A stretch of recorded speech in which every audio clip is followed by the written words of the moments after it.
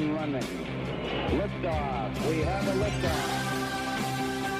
It's 7 after the hour. I'm Erick Erickson. This is Atlanta's Evening News. Welcome. The phone number 404 8720 750 1 800 WSB Talk. The fallout from Covington Catholic uh, continues. If you have no idea what I'm talking about, it's the kids in Washington at the Right to Life uh, March for Life that uh, a a YouTube clip or a Twitter clip actually started circulating among members of the media, showing the kids assaulting a Native American drum beater, and they were attacked, savaged uh, by CNN, the Washington Post, the New York Times, uh, the Washington Post, the New York Times. They interviewed Nathan Phillips, that is the drummer who uh, was a portrayed himself as a combat veteran from Vietnam who said the kids approached him and started harassing him and chanting inappropriate things at him, and he made the story up.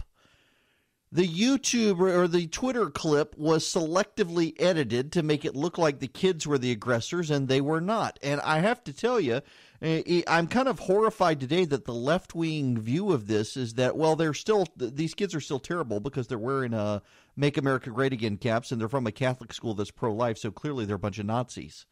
That that really is the left wing view today. You've got a, a bunch of even left wing pundits out there saying, "Well, yeah, we got it wrong, but we're not going to apologize because these kids are bigots anyway." Uh, more of the fraying at the seams of the United States. Here's an interesting bit from CNN, though. It turns out that the original account that circulated the clip was a troll from abroad, most likely a Russian troll. Uh, the account portrayed the owner of the account as a teacher, middle class from California, and uh, that account used someone else's picture. That person says it was not, wasn't their account. Uh, CNN began tracing the account, and it was tied to a bunch of Russian issues and others. Yes, that's right. Uh, the media that accuses conservatives of falling for lies from Russian trolls on Facebook fell for a lie on Twitter from a supposed social justice warrior that was not.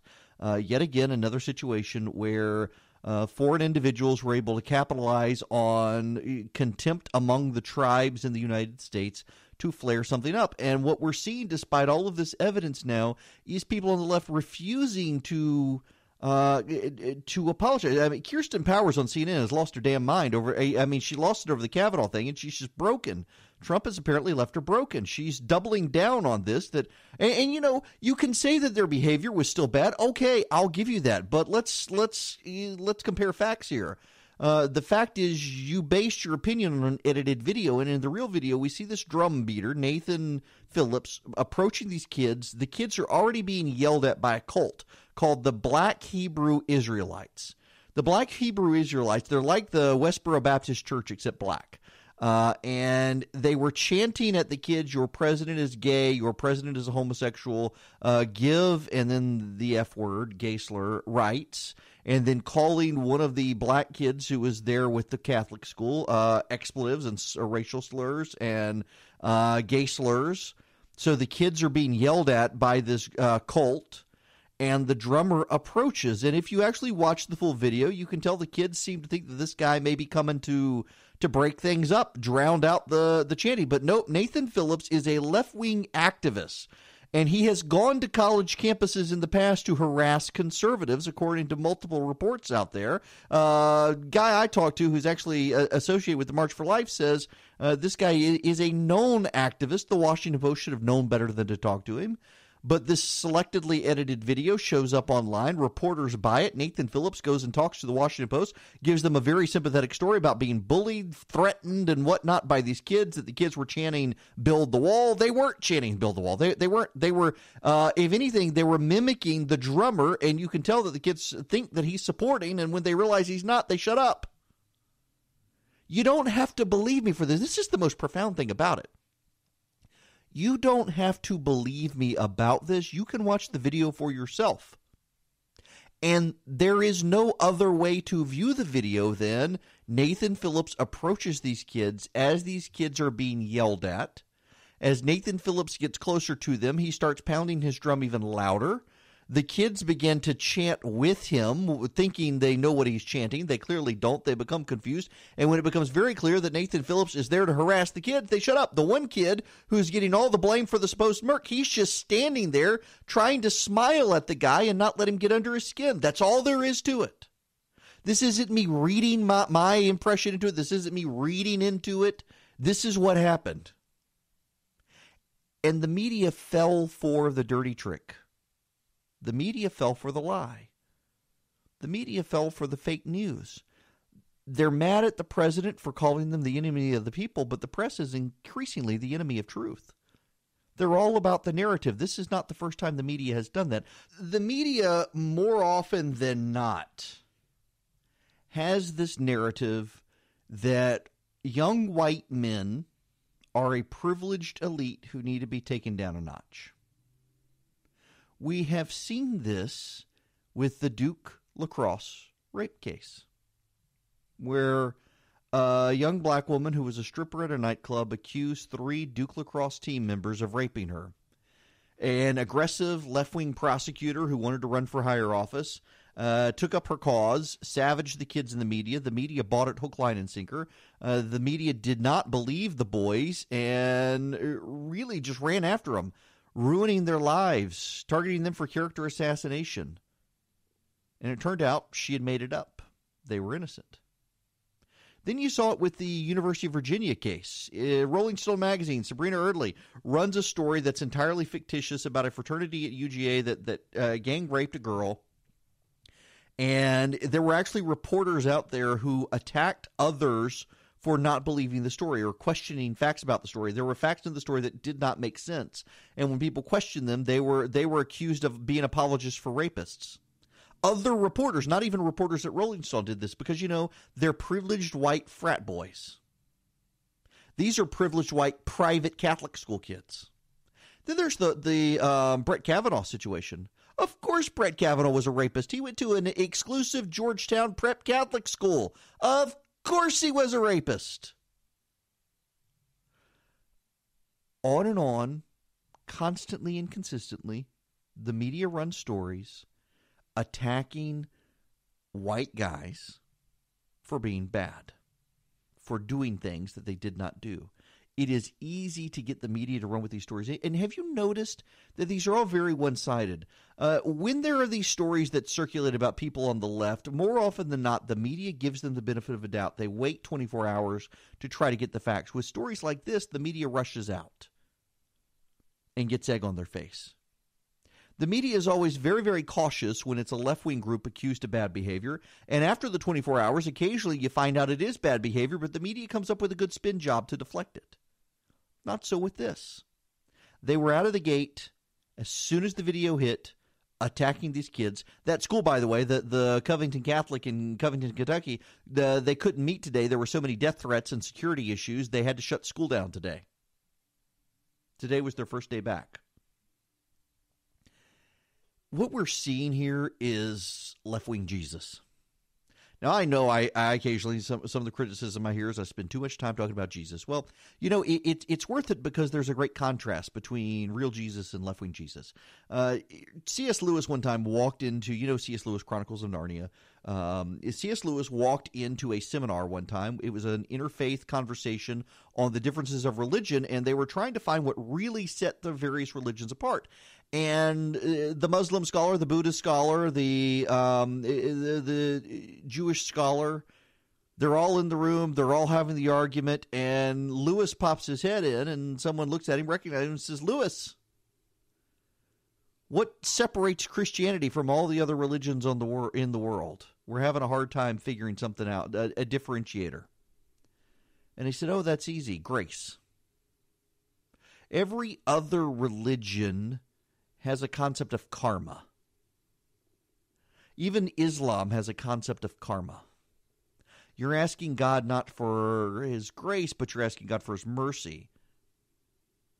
In Christianity, you have this idea of grace. And what we see with the decline of Christianity in the United States, with the decline of religion, with the increase in people who say they're not religious, the increase in people who say they're atheists, there's really no such thing as an atheist all that's happened is you've morphed religion from belief in a higher power to a belief in something else. And like other religions outside of Christianity, the concept of grace has gone away. And what we're seeing here is the mob on the left is amply, disproportionately represented in the media. Uh, the media disproportionately has a group of people who believe themselves woke. I hate using that word, but you know what it means. Um, hipster social justice warriors. They buy into this stuff, and you either conform to the mob or you burn in hell. Conform to the mob, or you can have your life destroyed. These kids were wearing, wearing red Make America Great Again hats.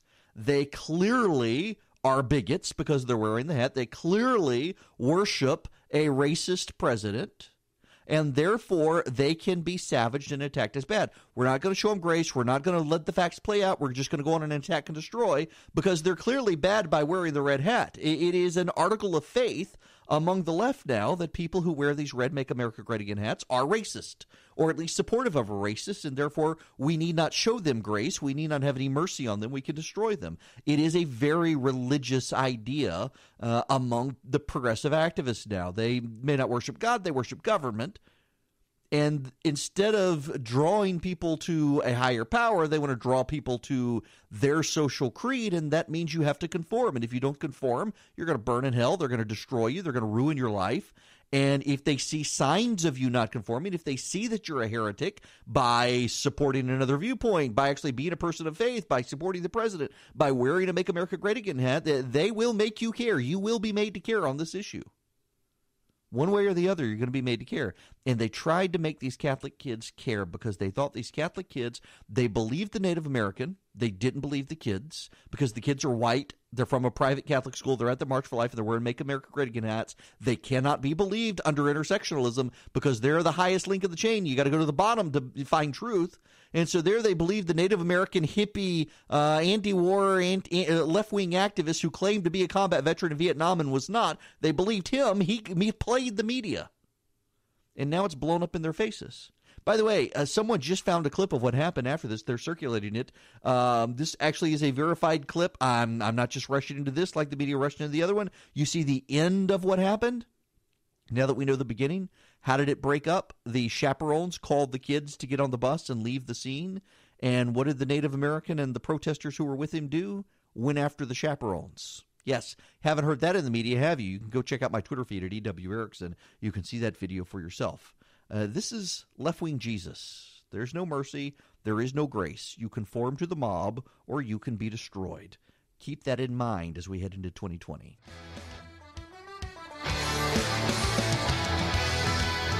It is 25 after the hour. Erick Erickson here. Up oh, 26 after the hour now. How about them apples? Uh, how are we doing on time? We're doing great on time. I'm going to go to Destiny in Atlanta. Welcome to the program. Erickson. How are you? I'm good. How are you? I'm amazing. I am currently a senior at Woodward Academy in here in Atlanta, Georgia. And as a black African American female, only 17 years old and conservative at that, I just want to say that I can feel so bad for those kids because I know personally how it feels to be the tyranny of the majority of the of the left against us right uh, against us right um, people who actually believe that the president is actually doing his job. Okay, I, I, you broke up a little bit on me. Say that last part again. Who's doing their job? The president. I truly believe that those students had a right to express their opinions, and the way the left wing media is going gapping so hard against this when they didn't even know the full extent of what the video actually showed. They just jumped to conclusion is the exact reason why the left is basically tyranny of the majority. Yeah, it, very much is mob rule from the left. Destiny, thanks very much for the phone call. Uh, it, it is mob rule, and, and, by the way, there's a rumor out the president is going to invite the uh, uh Covington, Kentucky school kids to the White House. Uh, he tweeted in their defense this morning as well. There, there is something to be said for the media being willing to go after these stories and pursue them, and it is always the pattern is always that they fall for the attacks on conservatives. And they do it frequently. It is a real lack of grace on their part and a real bias on their part. And there's really nothing that can be done other than turn off the channel or unsubscribe for the paper. But you know, more and more this is going to happen, and the reason it's going to happen more and more is because, uh, particularly with newspapers, as they become a a more um, sponsored entity, like the New York Times is, is now captive by its left wing subscribers in New York City. Every story's got to scratch their itches, and that includes portraying people on the right in the worst possible light. And it's going to escalate from here, like it did with the BuzzFeed story, playing into the beliefs of the left. We'll get into that when we come back.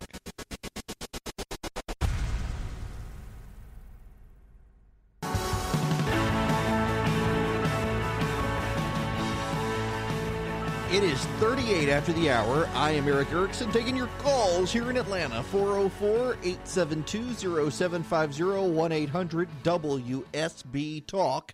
Glad to have you with me this evening. I was on Bill Maher's show, their season premiere on Real Time uh, on HBO Friday night. They flew me out to LA, did the show Friday night, came back Saturday morning. Uh, of course, you leave LA in the morning, you wind up here in the late afternoon. Got back at 4:45 in the evening. What was so interesting about it, the reason I, I, bring it up, not not to to actually brag, there actually is a relevant point here. Uh, Bill Maher very very insisted the president's a Russian agent and that he needs to be impeached. And Barney Frank, remember Barney Frank, uh, former uh, liberal congressman, I believe, first gay congressman uh, from Massachusetts, very, very liberal guy, uh, was very insistent that the president should not be impeached, that it would be nonsense to impeach the president, silly to impeach him, that it would do nothing but embolden the right and ensure Trump gets reelected. They need to beat him at the ballot box. It was a very interesting juxtaposition with Maher, who very much uh, wants to impeach Trump uh, yesterday if he could. Now, I say all of that to say that the BuzzFeed story had broken um, before I had gotten out to LA. It, it actually happened Thursday evening. I was uh, sitting in the lobby bar at the Hilton at the airport and having a beer, and the story broke uh, that BuzzFeed had record had reviewed records and witness testimony or others had who were familiar with it who told BuzzFeed that the president had coordinated with Michael Cohen on his lies. And, uh, well, it blew up from there. By Friday morning, every major news network except Fox News was covering the story as if it was gospel truth. Fox News was under attack for not covering the story as gospel truth. And it blew up in their faces by the afternoon. So here, here's what happens when you, when you go on with Bill Maher um, a week beforehand, they email you tentative topics. The day before, so on Thursday, before you go to LA, a producer calls and you spend an hour on the phone doing show prep of here's what we're here are our topics that we're thinking of doing. There are usually 10. You spend an hour giving your thoughts on the topics, and the producer pushes back, and you engage in a uh, conversation and try to vet you on your points, make sure your points are clear in your head. And then on Friday, the executive producer calls when you get out to LA. Wonderful guy named Scott. And Scott says, Here are the five of those 10, here are the five we've settled on. Well, on Friday, it's I've done the show now. This is third or fourth time. Called back, which is very unusual, and said, "You know what? We're, we're going to talk about this BuzzFeed story." Well, then the Mueller investigators released a statement saying the story was was inaccurate. The characterization of the documents and testimony was inaccurate. It is exceedingly rare for the Mueller investigators to release any sort of statement at all. And they released one. The only other time I can think of that the Mueller team released a statement was also a story about Michael Cohen. And it is the McClatchy story that Michael Cohen went to Prague to meet with the Russians, kind of a, a confirmation of coordination with the Russians. And the Mueller team, I believe that story. Don't hold me to that, but I think that's the story. The Mueller team pushed back. There are only two that the Mueller team has ever publicly pushed back on. And, you know, with that story, even Michael Cohen has now pled guilty and admitted all sorts of things he previously denied, but he's still consistent in denying that. And McClatchy has now run a second story claiming it's true, even though Cohen is pushing back, uh, even though he's pled guilty now, saying, nope, wasn't me. Well, with the BuzzFeed story, it's just one of those things. It's like the Covington, Kentucky Catholic school video. It's just too good to check for the left because it scratches all the itches and it confirms all the biases. They know the president lied, and they know the president coordinated his lie with Michael Cohen. Pay no attention to the fact that the BuzzFeed story, the the first named reporter is a guy named Jason Leopold who has a history of uh, sources not delivering, shall we say. The Columbia Journalism Review called him a fabulist, accused him of coming from the Stephen Glass School of Journalism. Stephen Glass, famously a journalist who actually made up some of his more famous stories that just weren't true. Jason Leopold is the guy who said that Karl Rove was going to be indicted uh, during the Bush administration, that sources told him this. And he's, oh, well, the sources told me that. The sources were wrong. Maybe I was getting played. Also, apparently, used to have a drug habit. Um, now he's got this story that sources say, based on a review of documents and testimony, Michael Cohen told the Mueller investigators the president coordinated his lying before Congress. There's a problem in that the Mueller team says this isn't accurate. And in fact, Ben Smith, the BuzzFeed, doubled down on the story and said, uh, by God, the story's true. We know the sources. The sources are credible. This is what they're telling us. One reporter of BuzzFeed says they've seen the documents. Another says they haven't seen the documents, but by God, they know it's true. And the Mueller team then leaked uh, subsequently to the Washington Post and said, no, no, we want to clarify.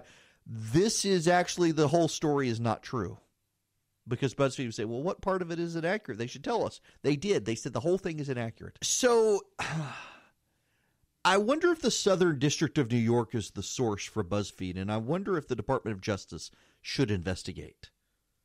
Now, I say this with some level of knowledge here. One of the things BuzzFeed said in its report is that Trump Organization employees said – the president orchestrated the lies. There's a problem. The Mueller team has not interviewed any Trump Organization employees. This has been now confirmed by multiple media outlets as one of the flaws in the BuzzFeed report. The Mueller investigators have not interviewed any of the Trump Organization employees. You know who has? The Southern District of New York, a notoriously leaky uh, district, by the way. So let's say the Southern District of New York is prosecuting some people who worked for Donald Trump, and they are. And one of the things that they want to build their case around is the idea that the president collaborated in the lies. Well, because President Trump is not on trial in the Southern District of New York, the Southern District can make the statement and they don't have to hold it to the same level of proof as they would if they were going after the president. They don't have to go for uh, beyond a reasonable doubt in this. They can build their case upon the president told them to lie and ha- can have witnesses come up and say that. And the president is not on trial. It's not going to get questioned as much. They can build a case around the idea that the president caused people, ordered people, uh, worked with people to lie and treat it as a fact, even if it isn't, because again, the president's not on trial there. They can make the statement. And so I wonder if this other district is where BuzzFeed got this and why, even though the Mueller team has come out and said this isn't true, they're doubling down on it because they've heard it from multiple people inside the Southern District of New York that has interviewed Trump Organization employees while Mueller hasn't. Well, that should still give them a black eye when the Mueller team comes out and says, no, no, no, the story's inaccurate. Michael Cohen is probably going to go to Congress. I will find out, but I will be really surprised if Michael Cohen says the president coordinated the lies with him. In fact, in his statements that we see from the Mueller investigators, what Cohen actually says is that he conformed his testimony to Congress based on the president's public statements. In other words, he didn't have to talk to the president to know what lies to tell. He just listened to what the president was saying in public, and he lied accordingly. That's what he testified. That's under oath from Cohen. There's nothing under oath from Cohen that he and the president sat in a room and coordinated his statements to Congress. Now, I suspect there is uh, some some there are a few statements in the Mueller documents that were filed regarding Michael Cohen's sentencing where it does appear he worked with people at the White House to coordinate his testimony, but not client one. That would be the president under the filings. Someone, unnamed person.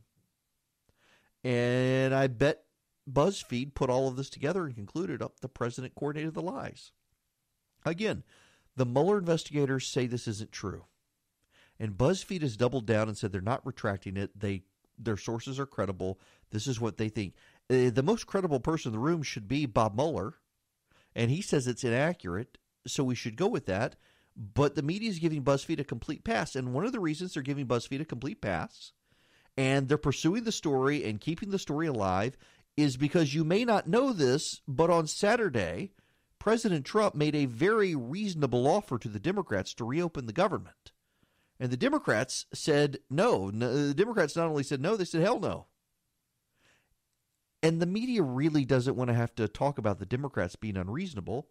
So they'd rather talk about the Catholic kids from Kentucky and BuzzFeed, even though they got both stories wrong, because they would much rather ruin their credibility on fake news than have to point out their friends in the Democratic Party are suddenly the ones being unreasonable about keeping the government closed.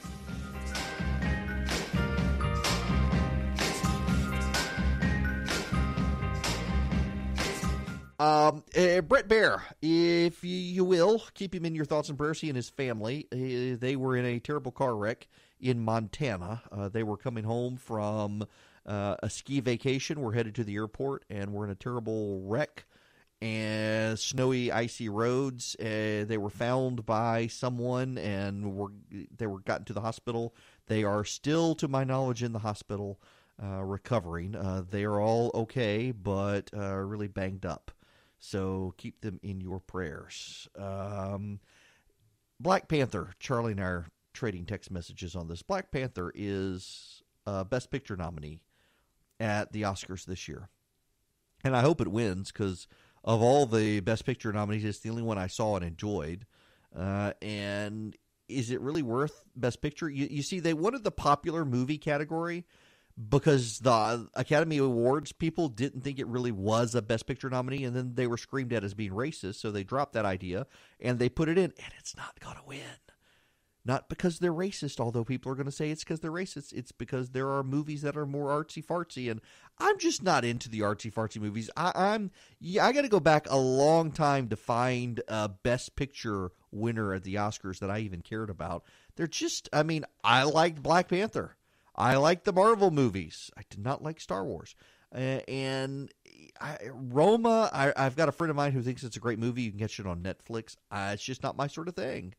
Nor are the other movies. And, you know, the only reason Vice is in there is because they all hate Dick Cheney and it's an anti Dick Cheney movie. Although, from what I hear, Dick Cheney comes off as the hero of the movie. The Oscars have gotten so predictable, and now they're not going to have a host because Kevin Hart, 10 years ago, dared to say something that people laughed at uh, that now people think is not funny. So he can't be the host. So they're going hostless, which may be an improvement of the whole thing. It's just garbage. It really is. When we come back, we got to move into domestic stuff here in Georgia. We'll get back to Washington and the shutdown of the president's offer. But before we get there, Brian Kemp attended the Martin Luther King Jr. Day uh, memorial celebrations yesterday, and the Democrats turned it into a partisan affair. Meanwhile, Stacey Abrams' campaign team says they are going to do nothing but attack Brian Kemp as she decides where she wants to run, when she wants to run, if she wants to run. She's running. We'll get into it when we come back.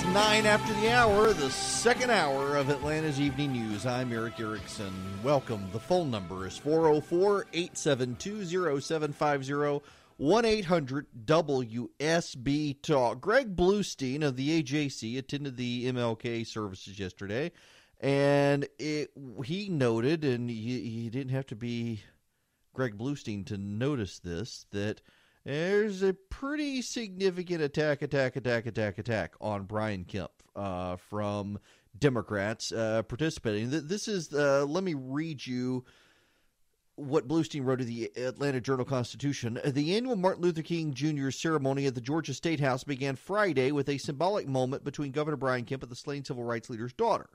It ended with a string of speakers lobbed not so subtle criticism his way. None directly mentioned the Republican governor, who was sitting in a first row seat beside the podium for much of the two hour event and applauded each speech. But the target was clear after a polarizing election between Kemp and Stacey Abrams that deepened the political divide. Bernice King, the executive, chief executive of the King Center, criticized conservative policies. She had said prolonged economic injustice. State Representative Karen Bennett blasted the quote outrageous and egregious voter suppression right here in Georgia. Brian Tollison, the chief executive of the Center for Civil and Human Rights, thanked Nathan Deal for standing on the right side of history by vetoing the RFRA bill in 2016. And then, of course, there's Shirley Franklin, who always likes to stir the pot. And she says basically we need uh, the minimum wage in Georgia increased. Uh, and she wanted to attack Brian Kemp for uh, rounding up uh, criminal illegal aliens and supporting religious liberty and supporting restrictions on abortion. She said, quote, uh, we still debate whether immigrants are welcome in Georgia should be rounded up by vigilantes and whether religious freedom means you can legally discriminate or whether men should have control of their bodies but women shouldn't. I find it all insulting. And kudos to Brian Kemp for sitting there and applauding each speech as each of these people is attacking him, even though they're not using his name. This is what it has come to the politicization of everything. Dr. Martin Luther King Jr. holiday should be a holiday where we have some level of self reflection and not just partisan gamesmanship, but that is what we had.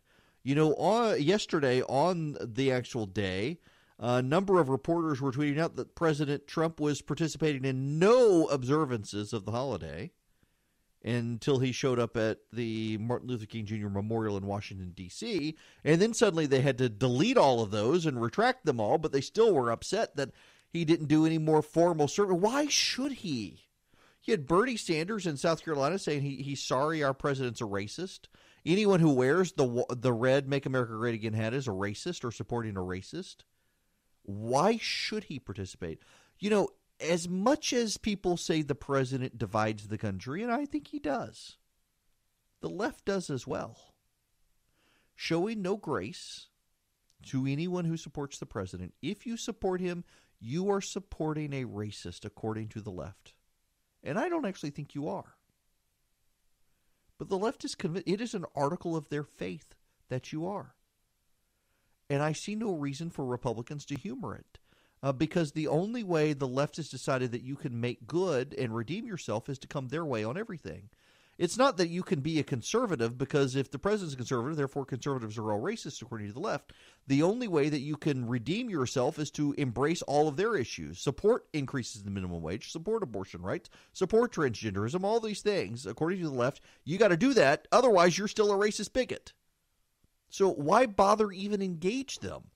We used to be able to engage each other with differences in this country. There's me. I, I was on real time on HBO Friday night. It was one conservative against all these liberals. And we could still interact and engage and have a conversation and enjoy each other's company. But you, by and large, you can't do that anymore anywhere. You're not allowed to. Uh, it's sinful for the left to engage with people on the right these days. It's an article of faith in their secular religion, and it's sad. So, uh, related to this, Stacey Abrams is running around the state attacking Brian Kemp. And her campaign says this is a quote from her campaign or former campaign manager quote, We're going to give Brian Kemp living hell. In other words, the campaign attacks will not stop on Brian Kemp. Abrams criticized Brian Kemp for this is Greg Bluestein again. She criticized Brian Kemp for refusing to expand Medicaid in Georgia, attacked him for not pushing criminal justice reform, attacked him or challenged the crowd to demand he follow through on his pivot to conciliatory language and centrist policies. Wait a second, he is. See, this is the deal, though. This this is the trick the Democrats are playing. This is what Stacey Abrams is playing. Brian Kemp wants to expand teacher pay. He wants to expand insurance coverage for the poor in Georgia. And he wants to finish Nathan Deal's criminal justice reforms.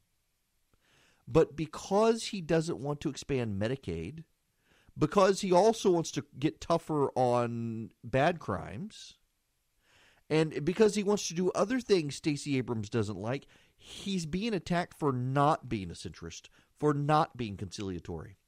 And it has nothing to do with his policies and everything to do with the fact that he's not doing what she wants. And in the language the left and the media together are using these days, if Brian Kemp's not willing to cave and do what the left wants, he's not being conciliatory. I mean, consider the attacks from Democrats in Georgia on Kemp's healthcare reform plan. Brian Kemp, in his State of the State, outlined a proposal to allow Georgia a waiver from Obamacare.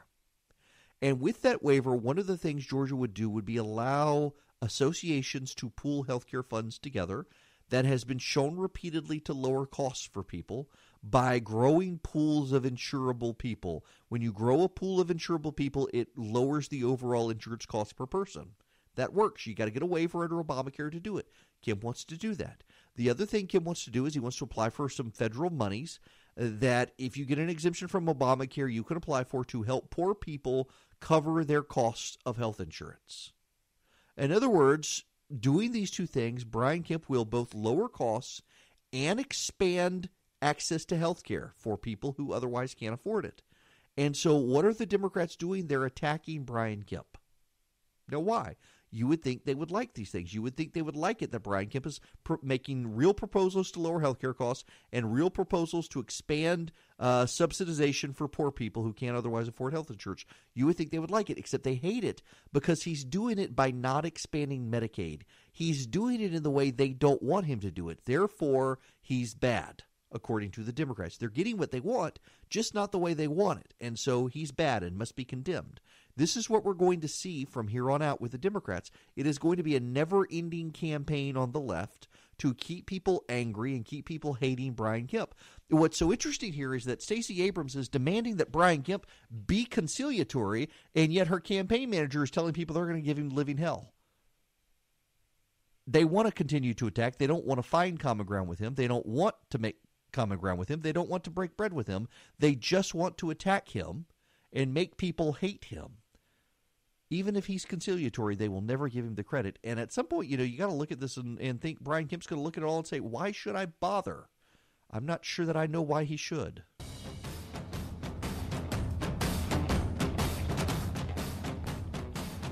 It is 24 after the hour. We got other stuff to get to. Um, the president says the State of the Union is going to happen. Nancy Pelosi says she's not so sure. The address uh, for the president it's scheduled to be Tuesday night in Washington. Nancy Pelosi has suggested she may cancel it because of the government shutdown, although she has not been definitive in that. What I think is kind of interesting is that uh, everyone treated the president so badly for canceling the CODEL of Nancy Pelosi and everyone else going to Afghanistan and, and to Brussels how would they react if she canceled the State of the Union? I bet they would say, good for her, it's payback. They would not complain about her uh, disrupting norms and everything. They, they would say it was good for her that she deserved it, which is just pitiful. But I suspect they will. The president says he's given the State of the Union on Tuesday. If Nancy Pelosi will not accept him in the House of Representatives, the president says he will give it somewhere else. He will turn it into a campaign event. He will do it before a live studio audience. I think that's going to be hilarious to watch and see. Meanwhile, centrist Democrats are urging Nancy Pelosi to compromise. That's right. They want Nancy Pelosi to agree to open up the government. it, it is striking to me that on Saturday evening the president made a reasonable compromise. He abandoned the idea of a coast to coast wall. He gave up the idea of the Mexicans paying for it. And he decided he would let the DACA kids stay, give them three years for this whole thing to be sorted out. The Supreme Court says they're um, going to take up the case next year. So he'll give them three years to get it sorted out, and it's very reasonable. The Democrats say, well, the president was going to sign a bill to keep the government open without any of this stuff, so this isn't being reasonable. He should go back to it. Well, you know, he changed his mind. He's allowed to change his mind. And now he's walked away from the position he had staked out. He's moved towards the Democrats. And yet Nancy Pelosi says no. She says that the only acceptable solution is no wall. She doesn't want to compromise. She wants the president to cave. She wants the president to cave because she knows it'll hurt him politically. People are on the unemployment line who should be working solely because Nancy Pelosi wants to hurt the president. That's what it comes down to now. The president has been willing to give up on the idea of Mexico paying for it. He's been willing to give up on the idea of a coast to coast wall. He only wants the wall now in urban areas where the Border Patrol, even under Barack Obama, was saying it needed to be expanded and improved. That's what he wants. And he wants to allow the DACA kids to stay. He wants to remove any threat of deportation. So Nancy Pelosi is now the one telling the DACA kids, nope, uh, you got to risk deportation because we got to hurt the president politically. That's Nancy Pelosi for you. And centrist Democrats are now starting to tell her, you know what, maybe it's time to cut a deal. Mitch McConnell says he's going to put this to a vote on the floor of the Senate, and we will see where that goes. And I suspect it will go nowhere because the Democrats in the Senate are going to stand with Nancy Pelosi. But again, it is a relevant fact based point to note. The president compromised, Nancy Pelosi won't. The phone number here 404 872 0750 1 800 WSB Talk.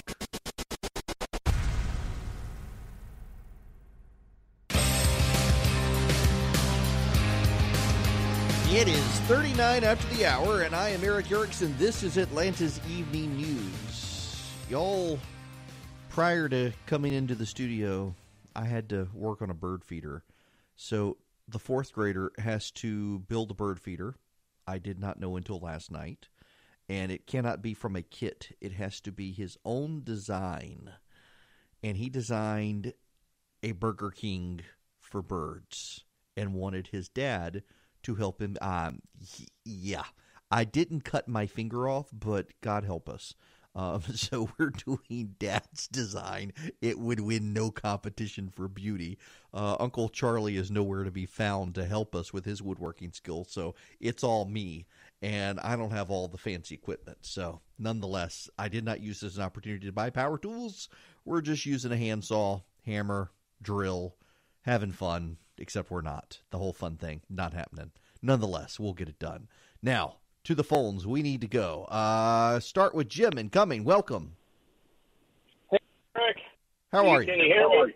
I'm good. Good, thanks. Hey, uh, thanks for having me on the show. Really enjoy it. I think I'm I'm probably what you'd call the the democratic centrist, as you say. Um, and I do find that President Trump tends to back himself into corners sometimes.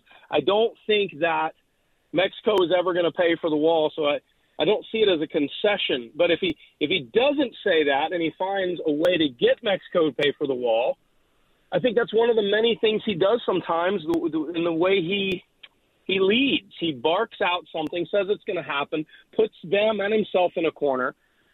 And, and I agree with you too that Pelosi needs to come to the table now and negotiate. But I wish the president would quit making these giant blank statements of this is what's going to happen, this is what we're going to do, and now he's pinned if it doesn't happen, and now we're all pinned because of it. I don't know if that makes sense or if I'm making a good point. No, it, look, it does. Um, it, the president could have had the the exact deal that the president outlined on Saturday. He could have had last February. It's almost identical to that deal that he had last February that he told the Democrats he would take, and then at the last minute said, "Nope, not going to take it," and nearly caused a government shutdown. Then um, that's one reason the Democrats are, particularly in the House, are hesitant to deal with him now, is because of that deal. The president does make these big, bold statements like Mexico's going to pay for the wall and whatnot, and then has to try to come up with a uh, way to justify the statement without beclowning himself. And more often than not, it's by letting other people go out and defend the statement and be beclowned, like the, the whole trade war statement that, oh, because of the renegotiation of the deal, of the NAFTA deal, to the New Deal, this is how Mexico is going to pay for it, which is just a bunch of horse poop. But that's what the president's gone with to try to justify his ridiculous statement to begin with that he should have known better. He was never going to get Mexico to pay for the wall, and now it's going to be American taxpayers paying for the wall. 404 872 0750 800 WSB Talk. Back to the phones we go. John in Jonesboro, you're next. Welcome. Hello, Erick. How are you? Great. Um, I was going to ask, do you think the president should stick by his guns? And, and I changed that to, uh, longer answer, why do you think the president should stick with his guns on the on the wall insofar as he's willing to compromise? I think that he needs to stick to it at this point because it is his signature campaign issue. And if the president gives it up, he's handing Nancy Pelosi a huge win in the run up to 2020, which is what she wants. Uh, if the president is able to get any part of the wall built, then he wins the argument. Uh, this has become a political contest in a game of politics. This is the highest stakes we've had in a while. The president fundamentally wants a wall he has given up on the idea of a coast to coast wall, recognizing that there are parts of it where there's a thing called the Grand Canyon, so you don't necessarily need the wall, and other parts, uh, that mountains and canyons and river and whatnot, you don't necessarily need a wall. Uh, but then there are parts in city areas where you do need a wall. If the president caves, it hurts him with his base. And that's what Nancy Pelosi wants. So he's got to stand strong on this. He has to. Uh, Chuck in Newnan, you're next. Welcome. Uh, Chuck, you there? Yes, I am. Hi there. I guess my question is, how much foreign aid are we supplying to Mexico, and why can't we just reduce that foreign aid by the amount we need to build the wall and finance? Well, we only give $320 million a year to Mexico. The president wants $5.7 billion. Uh, you need a, a billion minimum to get what the president wants, or what what uh, the border patrol has requested is 1.3 million dollar or 1.3 billion. The president wants 5.7 billion. We only give Mexico 320 million a year, so there's really not a there there. Now you can say let's cancel it. Uh, but the $320 million a year that we to give to Mexico mostly goes to military fund funding of military in Mexico, particularly against drug traffickers and the cartels. So if we weren't giving Mexico the $320 million to help them fight the drug cartels, that's 320 more million dollars we would have to spend to fight the cartels. And Mexico can do it more efficiently in Mexico than us having to send troops there. So it makes sense that we would want to keep giving Mexico that money uh, and let them do it. So, and even if we stopped it, it's a drop in the bucket compared to what the president wants. And you know, and I know, we should not actually have to have $5.7 billion should be able to build like three walls between the Pacific and the Atlantic, but that's just not the case. Why? Because government.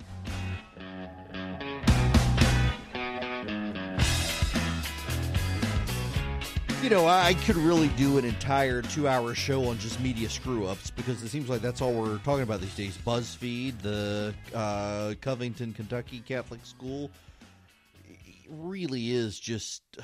It's pathetic how the media wants to lecture us on conservatives uh, circulating Russian troll memes on Facebook, and yet this is exactly what the media has done with this Covington Catholic School story. There's a little bit more to it, though if you look at the reaction from progressives, if you look at the reaction from the media, it really is a religious reaction to it. That there are sinners, and those sinners need to either repent or they need to be cast out.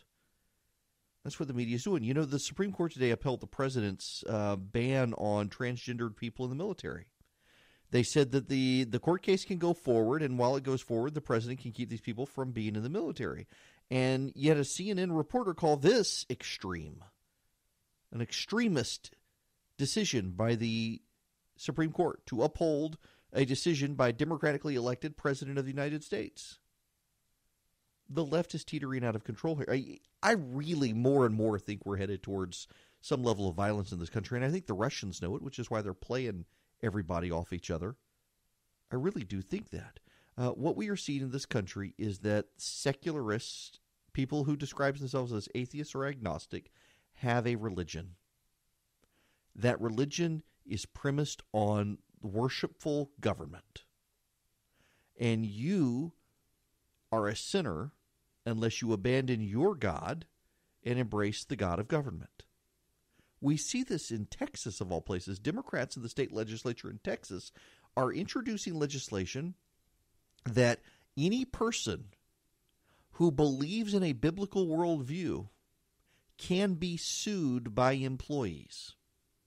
If you are an employer under these proposed laws, now they're not going to get passed, there are Democrats passing them, but it shows you where the left as a whole is going.